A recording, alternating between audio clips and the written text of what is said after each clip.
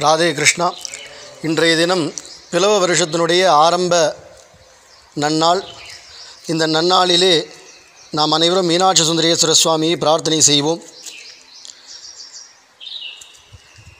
உலக மக்களையெல்லாம் அச்சுறுத்தி கொண்டிருக்கக்கூடிய கொரோனா என்னும் கொடிய நோயிலிருந்து நம் அனைவரையும் காத்தருள வேண்டி ஸ்ரீ மீனாட்சி சுந்தரேஸ்வர சுவாமியையும் சத்குருநாத சுவாமியையும் நாம் அனைவரும் பிரார்த்தனை செய்வோம். குரு நினைத்தால் ஆகாதது ஒன்றுமில்லை. குருபு நினைச்சார் அப்படின்னா எந்த அனுகிரகத்தையும் நமக்கு அருள முடியும். அதுக்கு பல உதாரணங்கள் பல இடங்களிலே ஆண்டோர்களால் சொல்லப்பட்டிருக்கு. அதில் ஒரு உதாரணத்தை இந்த வருஷப்பிறப்பு நன்னாளிலே நாம் அனைவரும் நினைவு கூறுவோம் நீர் அகன்றதான ஒரு தொட்டி அகன்றதான ஒரு நீர் தொட்டி. அந்த நீர் தொட்டியில் ஒரு பெரிய நீர் தொட்டி. அந்த தொட்டியில் ஒரு இரும்பு துண்டை எடுத்து நாம் போட்டோம் அப்படின்னா அந்த இரும்பு துண்டானது நீரில் மிதக்குமா அப்படின்னு கேட்டால் மிதக்காது. நேராக நீரினுடைய அடிப்பரப்பில் போய் உட்காந்துரும் அந்த இரும்பு துண்டு நீரில் மூழ்கிடும். இந்த அகன்றதான நீர் தொட்டி இருக்குது பார்த்திங்களா அதுதான் அந்த பிறவி பெருங்கடல். அதில் மூழ்கி போன இரும்பு துண்டு தான் நம்மை போன்ற சாமானிய மனிதர்கள்.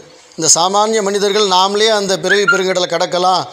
அப்படின்னு முயற்சி பண்ணும் பொழுது ஏதாவது ஒரு தருணத்தில் அவர்களை அறியாமல் அதில் மூழ்கி விடுகிறார்கள்.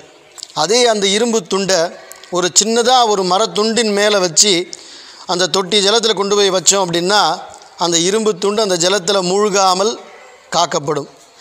அந்த மரத்துண்டு தான் இந்த சாமானிய மனிதர்களை காக்கக்கூடிய குரு.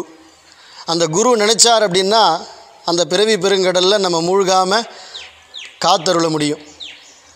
அப்பேற்பட்ட குரு அருள் ஸ்ரீ ஞானானந்தகிரி சுவாமியுடைய குரு அருள் ஸ்ரீ ஹரிதாசகிரி சுவாமியுடைய குரு அருள் ஸ்ரீ நாமானந்தகிரி சுவாமியுடைய குரு அருள் நம்ம எல்லோருக்கும் இந்த வருஷப்பிறப்பு நன்னாளிலே கிடைக்க வேண்டும் என்று